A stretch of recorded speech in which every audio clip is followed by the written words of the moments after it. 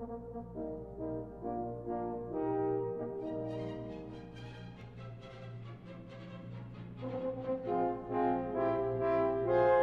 the house detective is going to talk about how to cut a large piece of PVC pipe. I'm thinking in terms of pipe that is like half, one and a half inch or two inch or even uh, four inch or whatever. It, it's a very simple way to, to do it and, and you can easily find the tools in most homes. At, at worst, you know, you have to buy a piece of wire from the hardware store. Anyway, I think it's very. I don't know where I learned this. Uh, I probably learned it years ago from my dad or from uh, somebody else.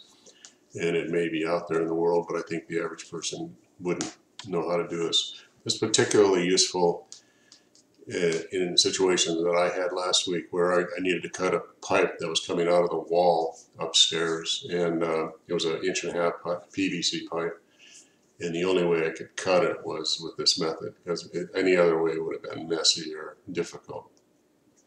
If you don't have a vise, you're to have to have, figure out some way to hold this. This has to be pretty tight. Maybe not that tight. Now, a lesson I learned from a um, different YouTuber and I don't know if I'll be able to give him credit for that is, first of all, did you know that when you pull the screwdrivers out of here, this can make a nice nut driver for some certain types of um, sizes of nuts. So I'm going to put this in here as a guide based on another YouTuber's idea. It's a real good idea. Actually, if you use two, it'd even be a better idea, but what I need is about an inch sticking out of here, maybe a little less.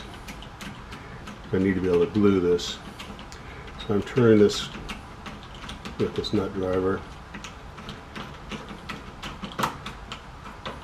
Oh, I get it not too tight. It's tight enough. Now we put our uh, call it a, call it a wire saw.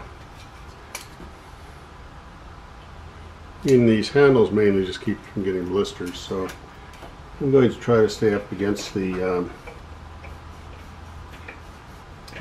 the uh, clamp here I'm going to go out here where I can get to it a little better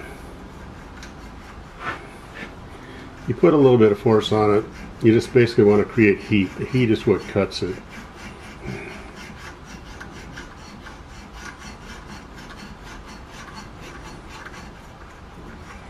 and we can expect this wire to break at some point and just add a new one.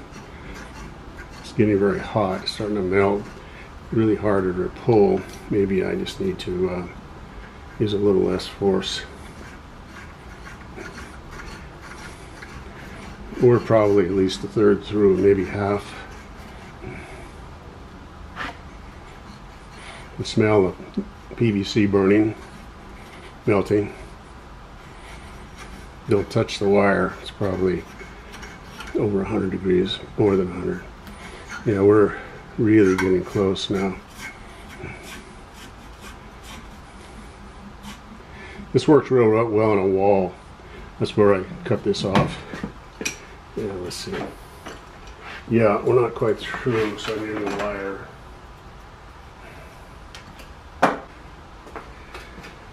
My dad had this wire and I use it all the time. I've had it probably for 50 years and uh, it's extremely handy but it's like it's a never-ending roll never runs out so I'm making a new handle here now new uh, saw I think I made it too short. But that's okay. Let's see how that goes.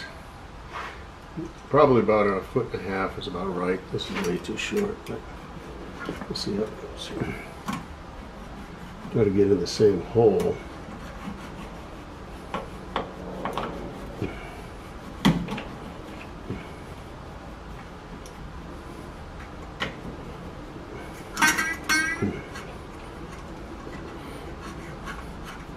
I don't think I got it in the same hole. Let's see how this goes. You didn't expect music, did you? Yeah, pretty much the same hole, I guess. Okay, this is hot. So the final product is this, and I'll just uh, sand off the rough edges. It's not not perfect. You could probably do a better job than I did, but this is good enough for government work.